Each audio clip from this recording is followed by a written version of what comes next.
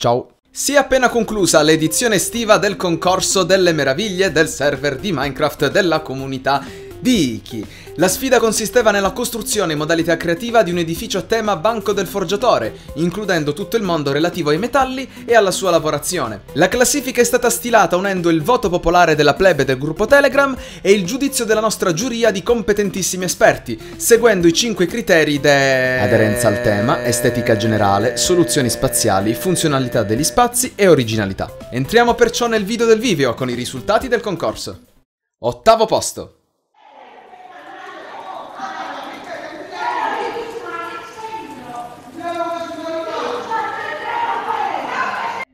Settimo posto. A questa posizione troviamo l'opera di Flash 137 che ha interpretato il tema della forgia realizzando una caverna! Intendiamoci, l'estetica non è affatto male, però non è una forgia. I rimandi al tema sono tanto sporadici da essere trascurabili e, diciamolo, alcune soluzioni spaziali non sono delle migliori. Ciao a tutti gamers! Il sesso posso... Il sesso... Il sesso se lo aggiudica Zero Coffee, che ha impiegato tutte le sue forze per creare la forma più sus possibile, finendo però per fare un utilizzo dello spazio abbastanza inefficace. Possiamo qui infatti vedere corridoi, corridoi, corridoi, corridoi... Ah, giusto, e poi in questo angolino c'è una fornace. Ma tutta la stanza è vuota! Ed ecco che salendo in classifica inizia anche ad aumentare la dignità umana dei partecipanti. Cilomerotte realizza per noi un edificio più plausibile di quello di Coffee, ma anche più edificio di quello di Flash. Il principale problema di questa architettura è prevalentemente funzionale e percettivo. Che si sia all'interno o all'esterno, infatti, più che una forgia ci si sentirà ospiti in una casetta medievale, magari graziosa, però decisamente troppo ricca di elementi estranei al tema.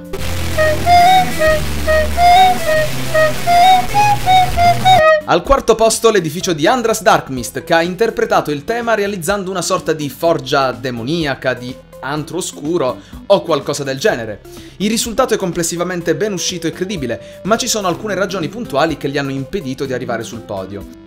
Per quanto l'architettura sia molto brava a raccontare quel che vuole essere, alcuni dettagli non sono il massimo dal punto di vista estetico. Ci sono alcune soluzioni spaziali discutibili, come quella di aver collocato alcuni degli importanti blocchi tematici all'interno del vano scala, quindi in un'area di passaggio, oppure questo corridoio abbastanza suscettibile di querela. Fra i vari problemi, comunque, c'è anche una stanza segreta con un ammogus nero. Il vincitore del terzo posto è Natale 15. Il tema della Forgia Oscura è riscontrabile anche nella sua architettura, ma con un trattamento dei volumi molto diverso dal concorrente precedente.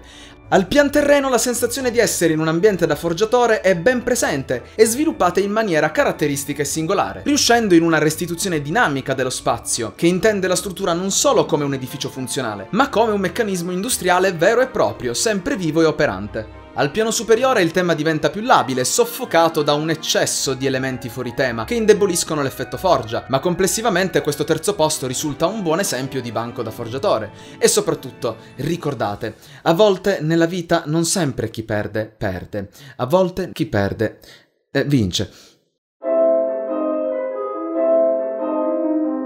Il secondo posto se lo aggiudica Z Super Microwave trattino basso. Che dire, rispetto a tutti gli altri concorrenti, Micronde realizza ambienti esteticamente eccezionali. Ogni anfratto è curato nel minimo dettaglio e ogni stanza nuova risolve la stitichezza.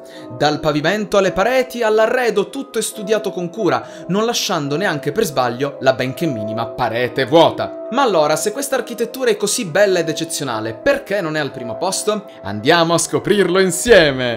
Oh, questa sala da pranzo è proprio bella! E questa biblioteca contiene un sacco di bibli e di teche! Oh, e guarda qui, ci sono i letti per l'equipaggio! E dal terrazzo c'è proprio una vista magnifica! Ok, lo so. Dire che il vincitore del concorso coincida con il fondatore del server, con l'organizzatore del concorso e con quello che sta parlando in questo momento non è il massimo, quindi lasciatemi spiegare, cominciando dai problemi. La mia architettura ha oggettivamente un livello mediamente buono, più o meno in tutti i campi, ma quanto a estetica e originalità non eccelle affatto, apparendo piuttosto come una struttura anche più ordinaria di quella di Andras.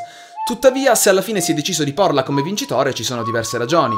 Oltre a essere la candidata a ricevere più voti popolari, è l'edificio che meglio esprime il tema della forgia, collocando ambiente e funzioni nel modo più chiaro ed efficace. Differentemente da tutti gli altri concorrenti, qui ogni stanza ha un proprio utilizzo specifico, ben aderente al tema del concorso, e non ci sono elementi che si allontanano troppo dagli intenti originari. Dovendo dare un giudizio definitivo, si potrebbe dire che tutti quanti abbiano creato opere davvero molto carine e apprezzabili, ma nessuno, neanche i primi tre posti, sono riusciti a esprimere al 100% 100% il tema del banco da forgiatore. Per concludere il video, ecco coloro che hanno preso il massimo dei voti nelle singole categorie. Logicamente il riconoscimento per la migliore aderenza al tema va a me, mentre la migliore estetica se la giudica Micronde, insieme al distintivo per le migliori soluzioni spaziali. La migliore funzionalizzazione degli spazi è da Vabbè, ci siamo capiti. Mentre l'architettura che più si è spinta nell'originalità, concretizzandosi anche discretamente bene, è stata quella di Andras. Bene, per questo video è tutto. Ringrazio tutti coloro che hanno deciso di partecipare alla competizione, ma anche quelli che hanno preso parte alle votazioni. Nei prossimi giorni riceverete i vostri... L'ho ripetuta troppe volte questa frase all'interno. Vi devo dare i premi! Vi do i premi, va bene? Le medagliette! Ci rivediamo per l'edizione autunnale. Ciao!